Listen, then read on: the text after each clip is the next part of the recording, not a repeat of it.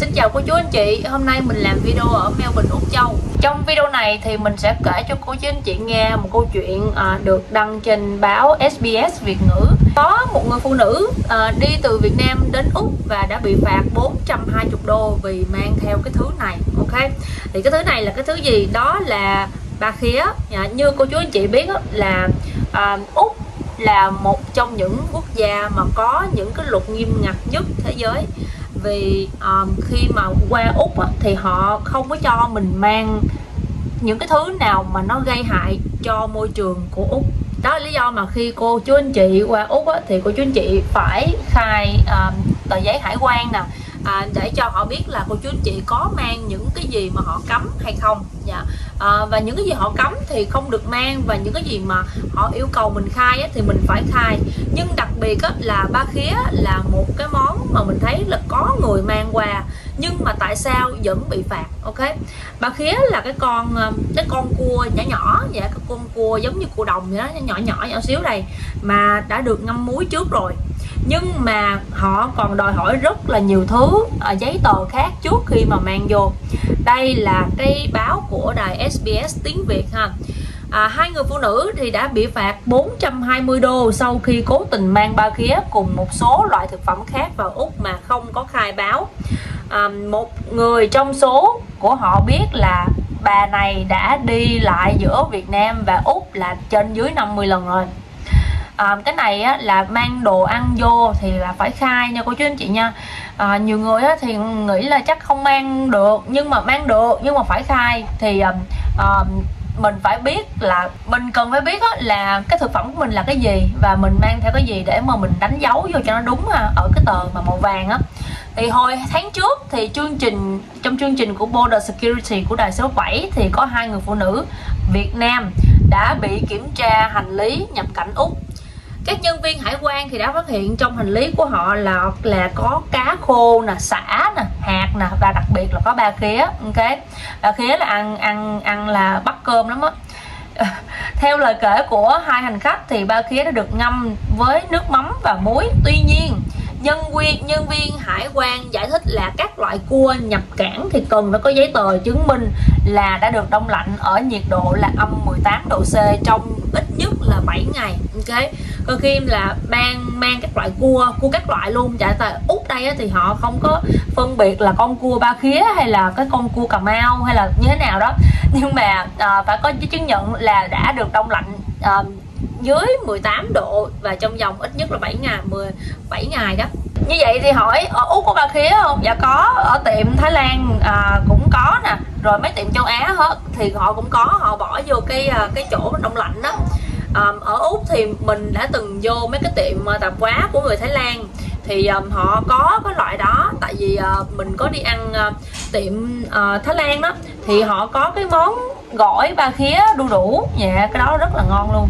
À, ngoài ra thì các loại rau và hạt thì cũng phải khai báo vì chúng có thể mang theo sâu bệnh gây hại khi mà được hỏi thì nữ hành khách lớn tuổi hơn cho biết là bà đã đi lại giữa Việt Nam và Úc là khoảng 50 lần rồi.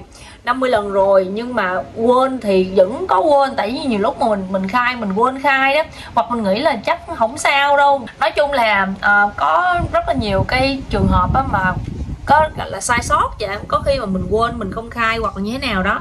Thì um, thường thường á những người vào đi qua đây thường xuyên rồi thì họ biết là cái nào không nên mang cái nào nên mang và các vi phạm kể trên thì nhân viên hải quan đã quyết định là phạt 420 đô la Úc. Border Security là một cái chương trình truyền hình thực tế do đài số 7 à, sản xuất từ năm 2004 với sự phối hợp của Bộ Nội vụ là lực lượng an ninh biên giới AFP và các um, chức các viên chức an ninh sinh học. Um, ở ngay border ngay border là cái uh, biên giới của nước úc vậy.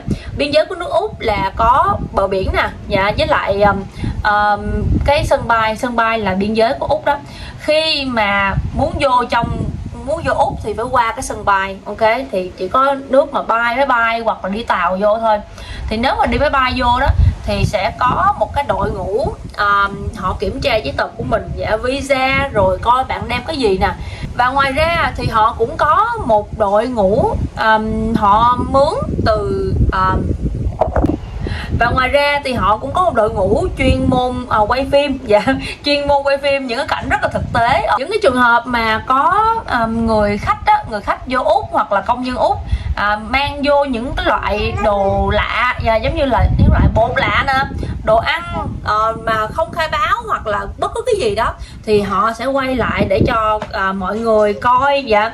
À, thì đăng nó đăng lên đài số 7 thì cái đài đó là cái đài border security đó thì các tập phim thường được quay tại sân bay Sydney, Melbourne và Brisbane cùng một số địa điểm khác à, Úc là một trong những quốc gia có luật an ninh sinh học nghiêm ngặt nhất thế giới. Hồi cuối năm 2023 thì Bộ Di trú có tuyên bố những du khách đến Úc mà mang theo sản phẩm thực vật thịt mà không khai báo thì có thể bị hủy visa. Ok.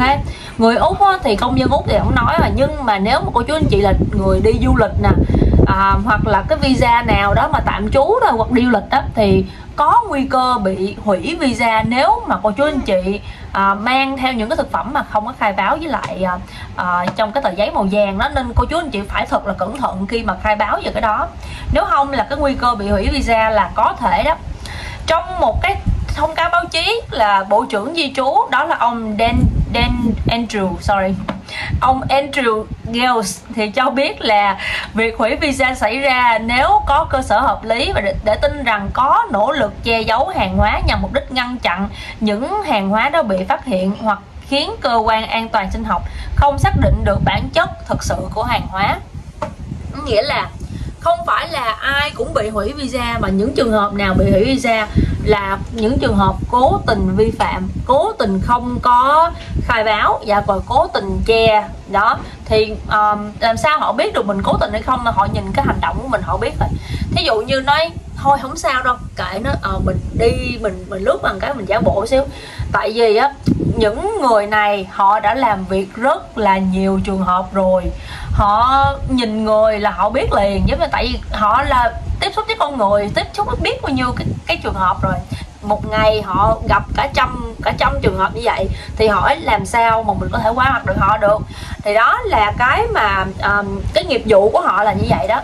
Nên uh, thí dụ như mình có thì mình khai và còn mà cố tình đó cố tình mà mình mình che đó thì cái chuyện mà hủy visa là có thể Trước đó thì có một du khách từ Sri Lanka và Philippines ở và Việt Nam nữa đã mang đã đem theo cành cây đến Úc nhưng mà lại đóng gói là dán nhãn là đồ biển, botox và trà. Thì mỗi du khách đã bị phạt năm ngàn rưỡi đô ok? Thì khi mà à, cô chú anh chị làm một cái này thí dụ như à, có nhiều người á họ có một cái loại bột lạ ok bột rất lạ luôn. À, và khi mà họ bỏ vô đó thì họ đâu có bỏ vô cái họ đâu có bỏ vô cái hộp mà ghi là bột lạ đâu nhá. Họ sẽ ghi là à, đây là chai dầu thơm dạ hoặc là đây là cái chai à, dầu gội đầu. Nhưng mà lúc mà khám phá ra thì nước không có đâu hết. Trong dầu gội đầu nó không có liquid không có chất lỏng mà lại có chất bột vậy thì bắt đầu lúc đó người ta mới à, nghi ngờ ra rồi nó ủa cái này là bột mà đâu phải là nước đâu mà tại sao lại bỏ vô cái chai này? Thì đó là cái hành động à, cái hành động là không đúng đó. Hành động là giống như cố tình che giấu đó. Thì cái đó rất là dễ để à, hủy visa ok?